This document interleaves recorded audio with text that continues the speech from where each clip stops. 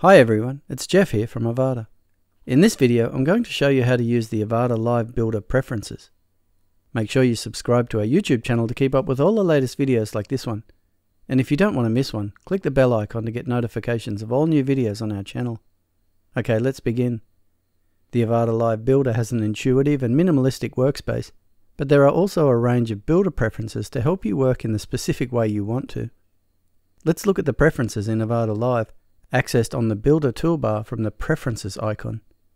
The Preferences panel pops up, and here we can see a range of individual preferences to refine the Avada Live Builder interface. The first one is Builder Styling Mode. This much requested feature offers a light or a dark mode for the builder. If we turn that on, we can see the whole builder interface now uses the dark mode. The next preference is for the sidebar panel position. You can have the main sidebar to the left or the right. By default it's on the left, but if you prefer you can change it here. The next one is the element editing mode. By default you edit elements in a tab in the sidebar, but if you prefer you can change this to a dialog. I'll do just that and close the preferences. And now if I edit an element, we can see it's now a small dialog.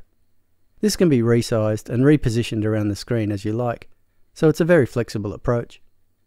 Automatically open element settings is the next one. You can always click the question mark to get a short description of the preference, and as it says here, you can choose if the settings should be opened automatically after adding an element. By default, it's set to on, and this makes sense in most situations, but you have the option here if that doesn't suit your workflow. Enable keyboard shortcuts is next, and with Avada Live there is a range of keyboard shortcuts you can use to speed up your workflow. These are enabled by default, and so if I close the preferences, we can find these shortcuts under the support icon.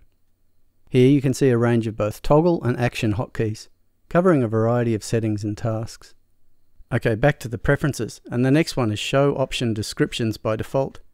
If you set this to show, then all option descriptions will be visible without clicking the question mark, including these in the preferences. But you will have to refresh the page to see this setting at work. Show tooltips is the next preference, and these are the descriptions that appear when you hover over individual container, column, and element controls and by default they are turned on. Enable sticky header and containers is next, and if preferred you can disable the sticky header while working in the builder. It will of course still be active on the front end, but you might want to not see it as you work and scroll in the builder. A similar preference is enable transparent header and absolute containers. Sometimes transparent headers can hinder access to the top container icons. It's easy enough to work around this by scrolling down and accessing the container that way or by using the navigator to select the element. But alternatively, you can just disable transparent headers and absolute containers in the Builder interface here. The next preference is Enable Preview for Filter options. These are the filter options you find in the Extras tab of many elements, and if you adjust these, you get a preview in the Builder. There's also a preference to enable preview for transform options. These transform options can be applied to columns, and this preference gives you a choice to preview them in the Builder, either always when you are editing the column or never. The default is set to editing. The next preference is show droppable areas while dragging. I'll just demonstrate this one. This is currently off, but if I turn it on and then move back to the page, when I drag an element you can see all the places that you can drop it. The grey lines are all the places on the screen that I could drop this element, and the blue one shows when I'm right over a droppable area. If we leave this preference off, we can still drop the element in the same places, but we only see the blue line when we are over a droppable area. That's the way I like it. The next preference is called Sidebar Panel Overlay Mode. It's off by default, which means when I open the sidebar, the page contents automatically resize for the new screen area, so we are always seeing the full page. If however we change this preference to on, the sidebar then opens in an overlay mode, and the page content takes up the full width of the browser. The penultimate preference is called Options Subtabs, and here you can choose if option subtabs are expanded or collapsed. These are things like column background options or filter types. Okay, the last preference here is enable preview for rendering logic.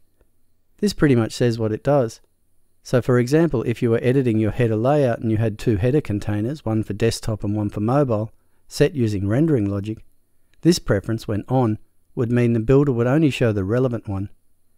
With it turned off, you would see all containers. The default is on, but they are called preferences for a good reason. And as such, there's no right or wrong options here, just a whole lot of choices with how you work in Avada Live. Okay, that's the Avada Live preferences. Try them out and decide how you like to work. Thanks for watching. This concludes our video on how to use the Avada Live Builder preferences.